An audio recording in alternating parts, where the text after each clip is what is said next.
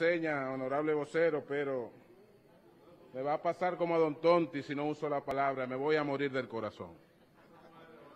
Sí. bueno, no la voy a retirar. Yo solo quiero pedir, saludar al presidente de la Cámara de Diputados, Alfredo Pacheco, al bufete directivo, a los colegas diputados y diputadas. Yo quiero, yo tengo aquí en las manos la American Cancer Society, que es la Sociedad Americana contra el Cáncer.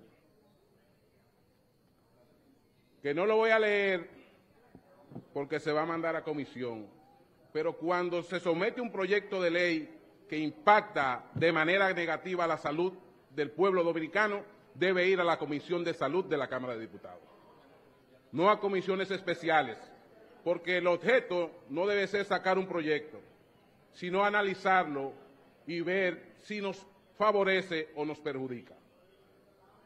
El uso del cigarrillo electrónico, aunque es un elemento nuevo, todavía no hay estudios que te hablen de que te va a llevar a que mañana padezca de cáncer de pulmón, cáncer de garganta, de lengua, de vestíbulo, pero sí hoy se sabe que está asociado a enfermedad pulmonar grave.